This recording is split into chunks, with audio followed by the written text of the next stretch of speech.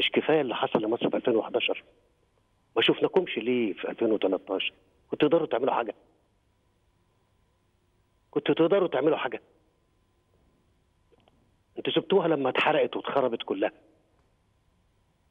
وبعدين بقى لما أنا بتكلم بصراحة من قلبي بقى. أرجوك اتفضل يا فندم كلكم. أمال إيه؟ كله جري وخاف. حي- حد يقدر يقف؟ كانوا دبحوكوا في الشوارع.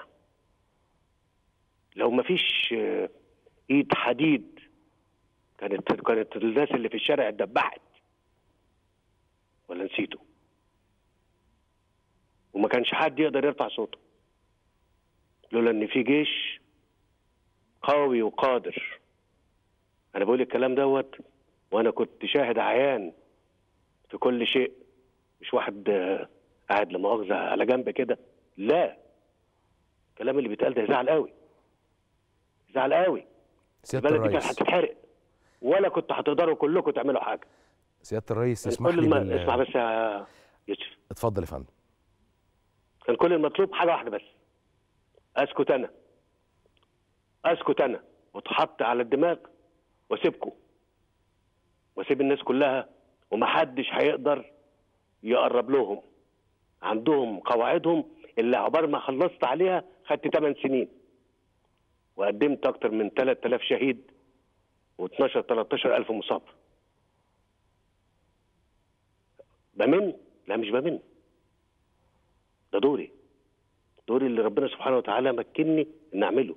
أنا تع- تعليقي كله على استقبال الناس على القدرة على إن الناس تبقى آه، صاحبة آه، يعني مش عايز أقول كلام ملوش لازمة. إيه ده؟ تاني. أنتوا مفيش فايدة.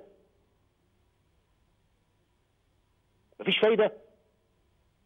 أنا التاريخ كله عندي يا يوسف. عارف. لا لا ما تعرفش أنا كنت مدير الاستخبارات ومسؤول عن الأجهزة الأمنية الفترة دي كلها. وعارف كويس الناس كانت بتعمل إيه. هم. عشان كده أنا متأكد يا فندم. لا لا بس اسمع. أنا بكلمك عشان لو سمحتم كنت لسه بتكلم على دور الإعلام. وبقول إن الإعلام بيعمل سياق سياق إعلامي فكري. مش هنرجع تاني؟ إيه ده؟